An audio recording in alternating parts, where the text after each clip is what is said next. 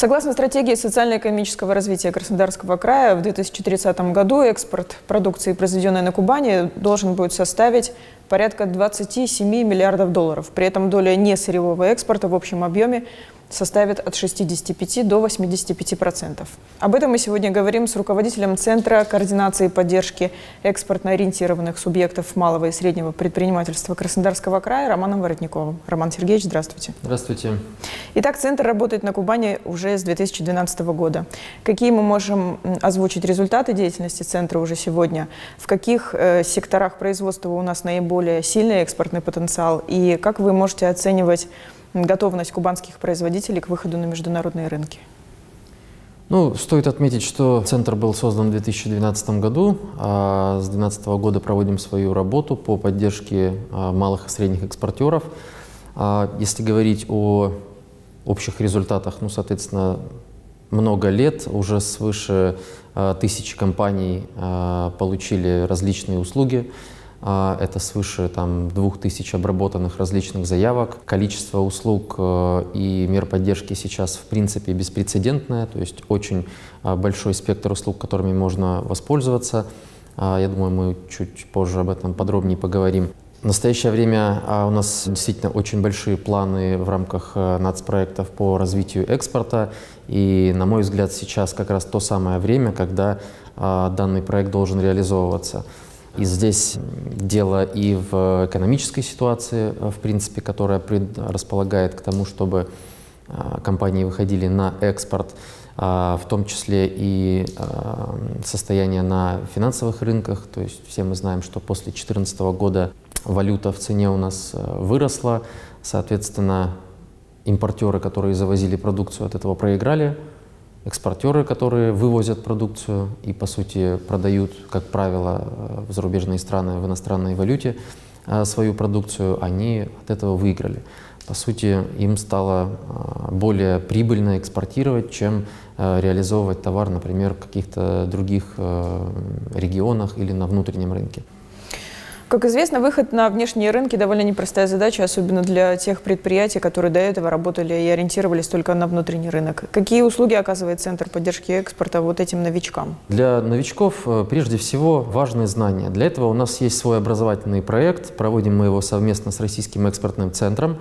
А, данный образовательный проект включает в себя 11 а, модулей, а, начиная от самых базовых знаний для экспортеров – соответственно, что такое экспорт, э, куда, как выходить, заканчивая уже более специфическими знаниями, а, как правильно оформлять э, сделку, то есть там э, таможенное оформление, а, логистика, маркетинг, как правильно общаться с зарубежными партнерами, как их искать.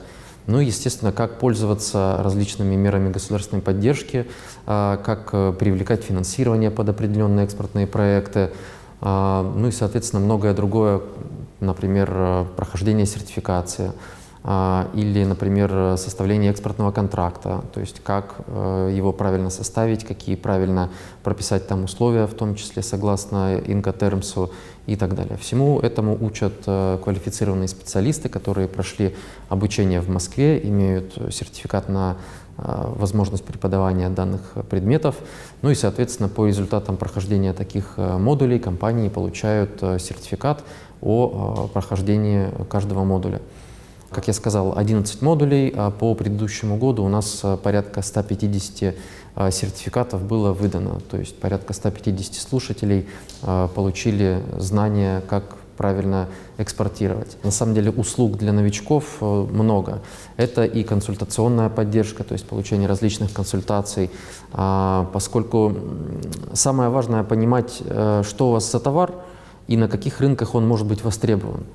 А, нужно ли делать какую-то сертификацию дополнительную по товару? А, нужно ли какое-то специфическое оформление? Есть ли какие-то квоты, барьеры заградительные по экспорту в конкретную страну? Ну и самое главное, какой там спрос? То есть э, это помогает компаниям а, не потерять лишнее время, лишние деньги, чтобы они, скажем так, пытались выйти на те страны, в которых у них просто нет перспектив. Для этого, естественно, нужно изучать. Также мы проводим различные маркетинговые исследования а, конкретных рынков по конкретному товару. А, заказывая такое исследование, компания сразу понимает, пойдет ее товар на этом рынке или не пойдет.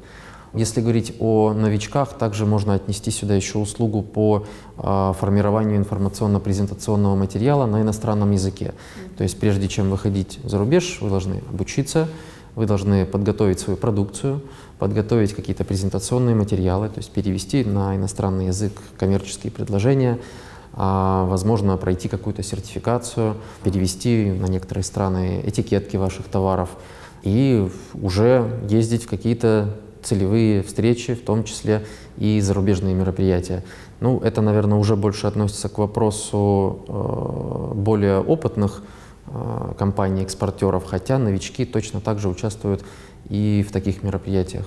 А какие страны пользуются наибольшим успехом у наших кубанских производителей? Куда хотят отправлять продукцию? Ну, хотят отправлять все, конечно же, в Китай, потому что это большой рынок, он, по сути, не имеет какой-то емкости, но не все представляют, насколько он э, сложный. То есть рынок сложный, по сути, рынок частично закрытый, э, есть определенные квоты, э, барьеры. Если вы идете по вне квот, то импортная пошлина при поставке в Китай может возрастать там, и доходить до 70%. Соответственно, привезя свой товар в эту страну, вы поймете, что ваш товар не конкурентоспособен. Он будет просто дороже в 2-3 раза аналогов китайских. И ну, смысла этого делать нет.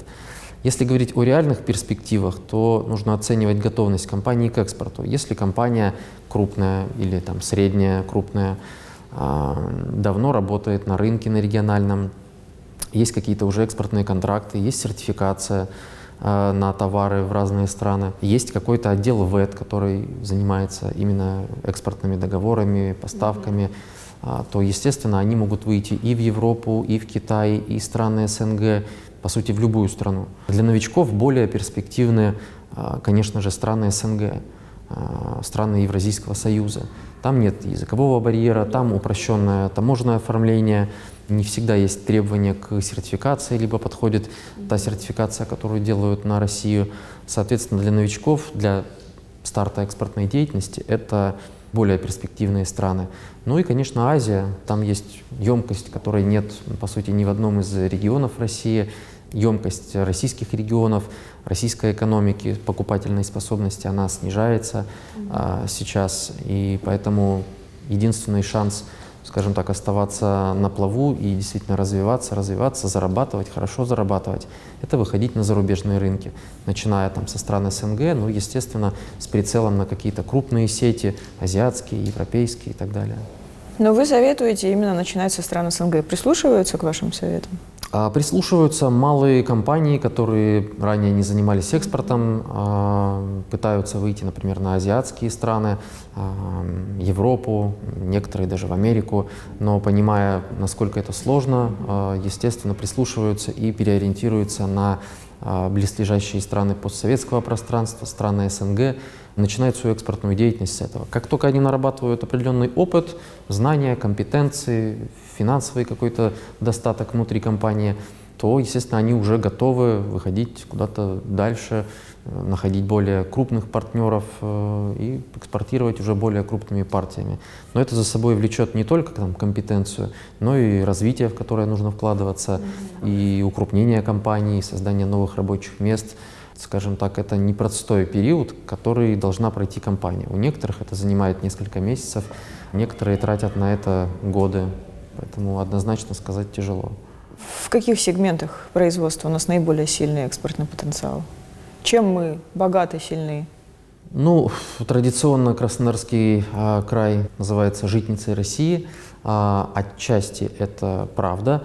А, если посмотреть по статистике, то а, на втором месте после экспорта минеральных продуктов у нас а, как раз-таки не сырьевой экспорт, это прежде всего пищевая промышленность, сельское хозяйство, зерно, а, ну и любая промышленность, которая связана с э, пищевкой, упаковкой, оборудованием для пищевого а, производства. В этом у нас достаточно много в секторе компаний работает, имеют большой потенциал. Это и наши аграрии, которые экспортируют зерно а, в разной степени обработки.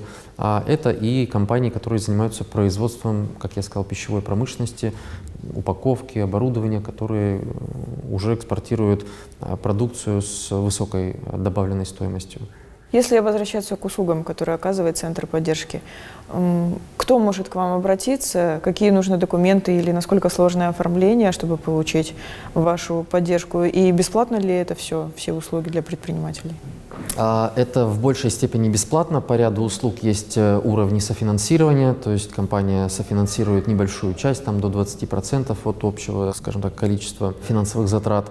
Но в 90% всех услуг это абсолютно бесплатно, начиная там от консультаций, заканчивая организацией уже каких-то мероприятий. И здесь стоит отметить, а, что ну, получить поддержку достаточно просто, не так много документов, нужно оформить ряд документов, э, оформить заявку, вы должны быть а, малым и средним предприятием. Резидентом, а, да? Да, естественно, угу. резидентом Краснодарского края а, с регистрацией в регионе. А, вы должны соответствовать 209 ФЗ, где четко прописано, что такое малый и средний бизнес. И по обороту, и по количеству сотрудников. А, вы не должны иметь в своих акведах а, подакцизных э, видов товаров. То есть основной вид вашего товара, производства не должен быть подакцизным. Это алкоголь и там, нефтепродукты. Ну, если говорить об экспортерах, о тех, которые уже опытные и состоявшиеся, для них есть э, тоже определенный э, спектр услуг, которые, на мой взгляд, являются наиболее эффективными. А, прежде всего, это непосредственный контакт с вашим будущим покупателем, то есть э, с зарубежным партнером, с вашим потенциальным покупателем. Здесь в арсенале у нас есть э, три вида мероприятий. Первое – это выездные бизнес-миссии. Угу. Это коллективная деловая поездка с, с заранее проработанными контактами. То есть, ну, по сути, мы едем в зарубежную страну на переговоры, плюс посещаем какие-то мероприятия. Форумы, выставки, э, наши торговые представительства э, за рубежом, представительство Российского экспортного центра за рубежом. Иногда э, в некоторых странах есть специализированные шоурумы Э, российской продукции, э, куда можно также зайти и поставить свою продукцию. Второй э, вид мероприятий – это зарубежные выставки. На мой взгляд, это сейчас наиболее эффективная мера поддержки, которая вообще в принципе существует и в нашем регионе, и в других. То есть, ну, центры поддержки экспорта – это сеть, сейчас это практически в каждом регионе есть, порядка 80 центров – сеть Минэкономразвития э, и ну, Российского экспортного центра, главного куратора а, данного направления. А, на выставке мы предоставляем площадь, абсолютно бесплатно это для компании, то есть мы арендуем площадь, застраиваем красивую застройку, коллективный стенд региона, там работают переводчики, соответственно, трансферы, организация каких-то встреч, все это абсолютно бесплатно. И в первом и втором случае компании платят исключительно а, за себя свой перелет и проживание. Все организационные моменты внутри э, самой поездки абсолютно бесплатны. Ну и э, третий формат э, контакта с зарубежным партнером – это а, приемы иностранных делегаций. Это когда а, мы по нашей инициативе привозим делегацию байеров, то есть покупателей конкретной продукции, к нам в регион и организуем здесь встречи на которые по предварительному списку, по э, видам продукции, по интересу компаний, по запросу иностранных компаний приглашаем э, наши российские э, компании для участия в этих переговорах. Для компании это абсолютно бесплатно, проходит это все, как правило, в Краснодаре. И если говорить о цифрах, то в этом году мы провели, ну, до конца года проведем 12 зарубежных выставок, четыре выставки международные на территории Российской Федерации, ну, как правило, они проходят в Москве, а, и а, порядка восьми приемов э, иностранных делегаций из разных государств.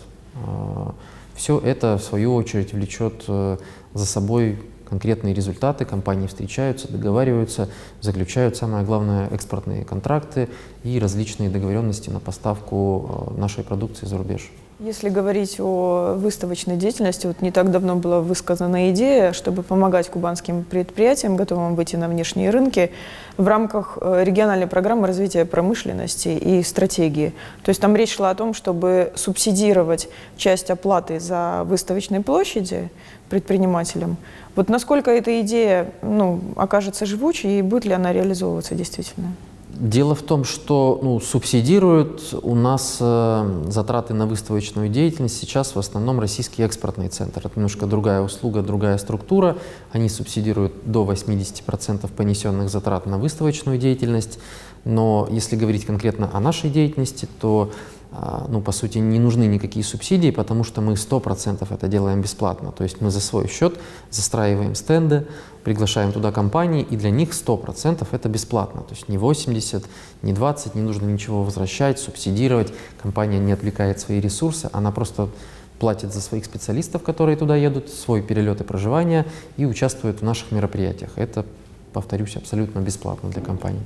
Угу. Ну вот да, я тоже хотела уточнить у вас, и что за идея такая, зачем, собственно, если вы функцию уже эту выполняете? Ну, дело в том, что у Российского экспортного центра а, возможностей гораздо больше, они шире. Например, мы, вот, как я сказал, в год проводим там, 12 мероприятий. Ну и, например, нет у нас в планах той выставки, которая интересует э, конкретная компания. Например, она узкоспециализированная.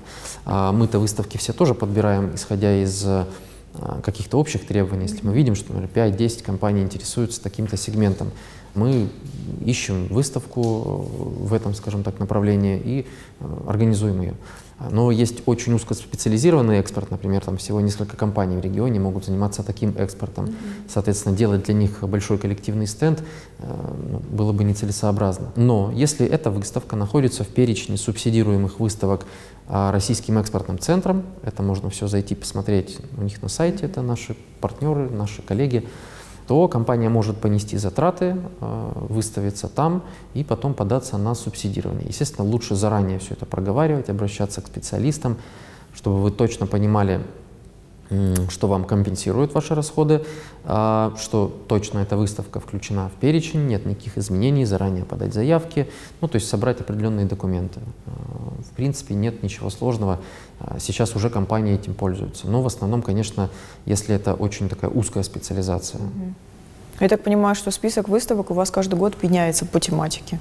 А, да, естественно, в конце каждого года, вот сейчас мы тоже анализируем, собираем с предприятий их э, пожелания, их видение, кто в какие страны экспортирует, кто какими странами интересуется, собираем скажем так, перспективные страны, анализируем их и а, вместе с нашими коллегами из Российского экспортного центра, из Минэкономразвития, а, ну, естественно, учитываем мнение бизнеса, потому что ну, мы все-таки везем туда бизнес, это делается для них, поэтому кому как не им а, точно знать, где их продукция а, востребована, какие выставки они, может быть, уже посещали и уже готовы поделиться с нами эффективностью. И, соответственно, их на следующий год закладываем, планируем. В том числе наши коллеги из Российского экспортного центра, количество их выставок гораздо больше, вот, но там механизм больше возмещения затрат. А, плюс они также проводят свои бизнес-миссии, коллективные э, стенды, в том числе для э, крупных, крупных компаний. То есть в отличие от нас, они имеют возможность работать именно с крупным бизнесом. А есть какие-то точные данные, сколько у нас сейчас в крае экспортеров, сколько в реестре Центра поддержки экспорта находится организаций и предприятий, и как, вообще какова динамика обращения в ваш центр? Заявок становится больше с каждым годом? Ну, естественно, с каждым годом заявок все больше и больше. Когда мы только начинали свою деятельность, нам, по сути, приходилось э, ну, бегать за компаниями. Да? И, ну, поскольку никто не знал, что есть mm-hmm. такие меры поддержки, уровень доверия, в принципе, там, к государственной поддержке был низкий, то есть для людей это было что-то новое, что-то незнакомое, то есть приходилось убеждать и, э, ну, так сказать, затягивать под конкретные услуги. Естественно, со временем, если какая-то компания получила услугу, хорошо отработали, есть эффективность, и ей все это нравится и устраивает, то, естественно, она в последующем становится постоянным клиентом и постоянно обращается к нам в центр. С каждым годом количество получателей услуг э, растет, в среднем это в год порядка 300-400 компаний уникальных, не повторяющихся, которые получают там, до 1000 услуг а, по разным направлениям. И если говорить о количестве экспортеров, то по данным статистики а, рост есть каждый год, порядка там 20-30% по количеству экспортеров. Но эта статистика включает в себя и разовых экспортеров. Например, вы вывезли пробную продукцию, там один ящик чего-то, вы попали уже в статистику. По сути, по статистике вы являетесь экспортером, хотя это могла быть просто какая-то пробная партия. А таких сейчас по данным статистики а, чуть больше тысячи а, экспортеров. Если их обработать, вычленить оттуда более-менее постоянных экспортеров, кто ведет постоянную экспортную деятельность, то таких компаний порядка 500 сейчас. Ну, естественно, каждый год они меняются. Компания один год может экспортировать, потом взять паузу на год, на два, вот, или наоборот э, перестать экспортировать. Ну и, естественно, есть тенденция к тому, что многие компании, которые еще не экспортировали, начинают свою экспортную деятельность и заходят в эту статистику уже успешными экспортерами. А есть у вас такие долгоиграющие подопечные? Ну, вы знаете, у нас по статистике, а, ну, так сказать, лояльность клиента порядка 70-80%. То есть, по сути, почти все компании, которые хоть раз обратились и получили услугу, а, в дальнейшем остаются с нами, идут с нами. Ну, здесь зависит от услуги. Например, если это консультация, разовая поставка, ну, человек мог проконсультироваться и больше не появляться. Mm-hmm. Хотя, если его хорошо проконсультировали, почему бы ему не вернуться? А если мы говорим о каких-то уже более таких глобальных э, крупных услугах, там участие в зарубежных мероприятиях, выставки, бизнес-миссии или там в приеме иностранных делегаций, то, конечно же, компании возвращаются практически в 100% случаев абсолютно. А с этого года вот мы запустили, например, ряд новых услуг, которые еще пока бизнесу немножечко так неизвестны, хотя и там из других регионов москвичи уже давно-давно пользуются этими мерами поддержки. А прежде всего это электронная торговля, то есть электронные торговые площадки. А, экспорт это не только когда вы нашли одного партнера, заключили с ним контракт, и вот через него все в эту страну запускаете. То есть можно идти а, разными, скажем так, путями, стратегиями. В том числе вот сейчас порядка 30% в других зарубежных странах это ну, то есть 30% из всего экспорта – это э, электронная торговля.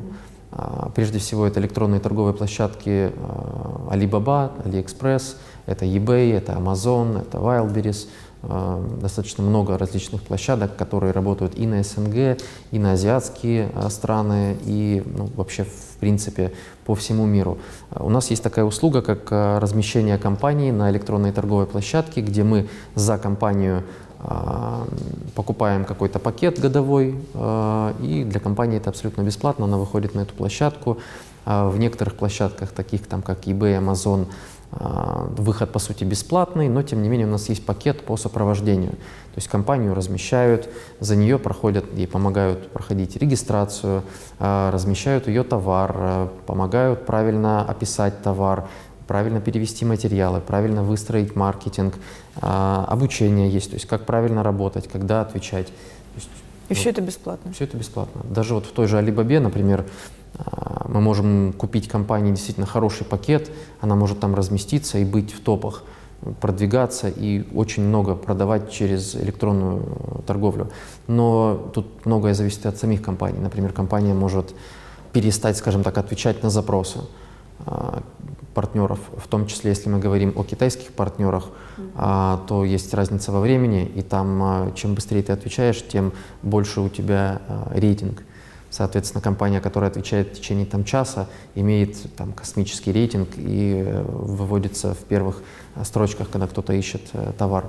А если компания отвечает в течение там, суток, это нормально. В течение недели, по сути, вы скатываетесь вниз, и вас никто не видит. То есть если мы говорим про Китай, должен быть конкретно закрепленный менеджер, который вплоть до того, что ставить там уведомления, просыпаться ночью и отвечать потому что пока вы проснетесь, приедете на работу, ну, да. уже пройдет, может быть, там 5-6 часов, и а, покупатель останется недовольным. То есть он увидит, что ему не отвечают, он обратится в другой магазин, где ему отвечают, и купит продукцию там.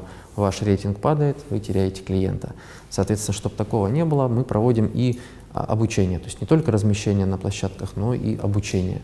Это вот касаемо, скажем так, новых услуг, которые мы запустили только с этого года. Наверняка пользуются бешеным спросом, да? Ну, мы это запустили не так давно. Например, Alibaba мы запустили где-то с полгода назад, и там все пакеты, которые были, уже разобрали. Мы сейчас делаем до финансирования этой услуги.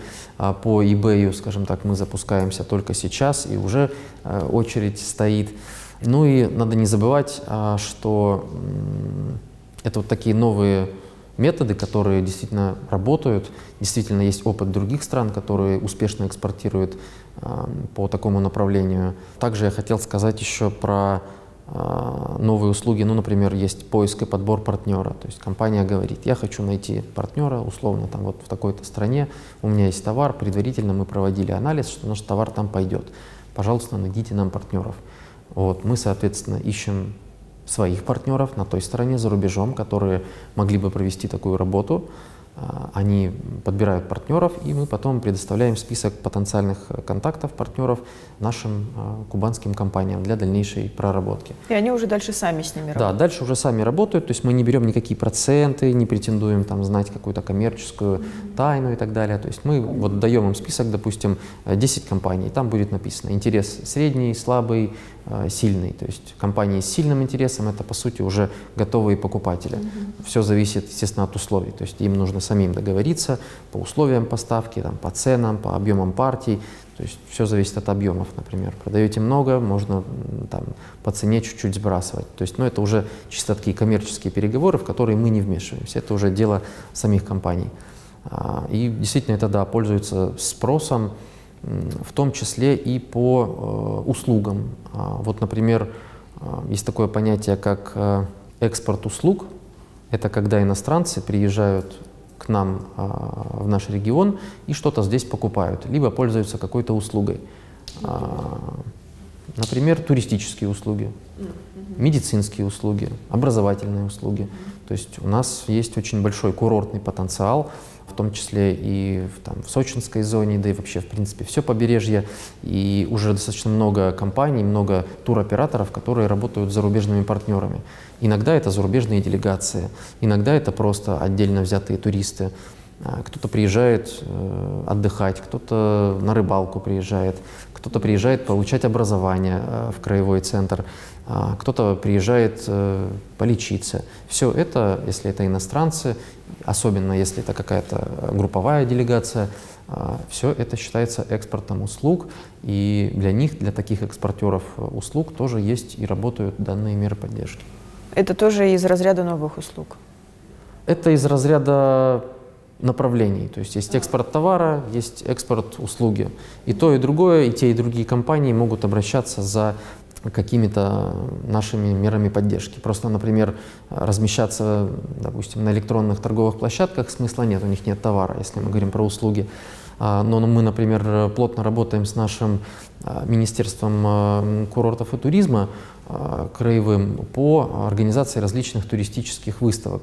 То есть э, крупная зарубежная выставка, там выставляются наши туроператоры и привлекают иностранных операторов, иностранных туристов, рассказывают об экспортном потенциале, о туристическом потенциале нашего региона. Все это продвижение нашего региона, продвижение наших экспортных возможностей, не только товаров, но и э, услуг на примере того же, например, туристического потенциала. Угу. А как долго можно пользоваться услугами Центра поддержки экспорта? В принципе, каких-то ограничений нет. Есть ограничения на участие в конкретных мероприятиях. Например, в год. А, в год, mm да. То есть, например, э, ну, компания не может, например, открыть там три магазина на Алибабе, она должна открыть только один mm в год. А, либо она может открыть на разных площадках этот магазин. Ну, то есть здесь нужно понимать, что меры поддержки, они есть, но, естественно, если 100% компаний захотят ими воспользоваться, то просто ну, не хватит э, количества этих мер, не хватит никакого финансирования, если мы говорим про краевой центр. Есть, конечно, и федеральные меры поддержки, и их достаточно много. Сейчас э, их больше, чем а, компании за ними обращаются. Поэтому мы стараемся стимулировать, а, подробно об этом везде рассказывать, стимулировать компании обращаться на конкретные мероприятия. И мы видим, что за последние там, 2-3 года активность компаний в плане экспорта, особенно там, после 2014-2015 года, когда курсы валют изменились, мы видим действительно интерес, спрос и увеличившуюся активность в этом направлении. Угу. Ну что ж, спасибо вам за беседу, было очень интересно. Спасибо вам. Да.